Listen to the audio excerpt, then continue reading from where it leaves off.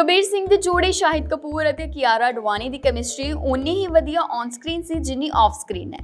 ਹੁਣ ਜੋੜੀ ਲੰਬੇ ਸਮੇਂ ਬਾਅਦ ਕਰਨ ਜੋਹਰ ਦੇ talk show coffee with Karan season 7 ਵਿੱਚ ਨਜ਼ਰ ਆਉਣ ਵਾਲੀ ਹੈ। ਕਰਨ ਦੇ ਸ਼ੋਅ ਤੇ ਸੁਪਰ ਹਿੱਟ ਔਨ ਸਕਰੀਨ ਜੋੜੀ ਨਾ ਸਿਰਫ ਮਜ਼ੇਦਾਰ ਗੱਲਬਾਤ ਕਰਨਗੇ, ਸਗੋਂ ਇੱਕ ਦੂਜੇ ਬਾਰੇ ਕੁਝ ਰਾਜ਼ ਵੀ ਖੋਲਣਗੇ। ਸ਼ੋਅ ਦਾ ਪ੍ਰੋਮੋ ਪਹਿਲਾਂ ਹੀ ਰਿਲੀਜ਼ ਹੋ ਚੁੱਕਾ ਹੈ, ਜਿਸ ਤੋਂ ਪਤਾ ਚੱਲਦਾ ਹੈ ਕਿ ਸ਼ਾਹਿਦ ਕਪੂਰ ਨੇ ਸ਼ੋਅ ਤੇ ਕਿਆਰਾ ਨਾਲ ਖੂਬ ਸਮਾਂ ਬਿਤਾਇਆ ਹੈ।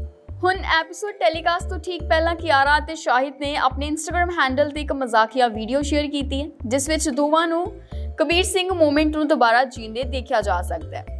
ਵੀਡੀਓ ਵਿੱਚ ਕਿਆਰਾ ਨੇ white off shoulder bodycon dress ਪਾਈ ਹੋਈ ਹੈ, ਜਿਸ ਵਿੱਚ ਉਹ ਕਾਫੀ ਹੌਟ ਨਜ਼ਰ ਆ ਰਹੀ ਹੈ। ਉੱਥੇ ਹੀ ਸ਼ਾਹਿਦ ਕਪੂਰ ਨੂੰ ਗ੍ਰੇ ਕਲਰ ਦੀ ਪੈਂਟ ਅਤੇ ਵੈਸਟ ਕੋਟ ਦੇ ਨਾਲ ਵਾਈਟ ਸ਼ਰਟ ਦੇ ਵਿੱਚ ਦੇਖਿਆ ਗਿਆ। ਉਹ ਫਾਰਮਲ ਵਿੱਚ ਕਾਫੀ ਸ਼ਾਨਦਾਰ ਨਜ਼ਰ ਆ ਰਹੇ ਸੀ। ਕਲਿੱਪ ਵਿੱਚ ਕਿਆਰਾ ਨੂੰ ਟੱਚ ਅਪ ਲੈਂਦੇ ਦੇਖਿਆ ਜਾ ਸਕਦਾ ਹੈ।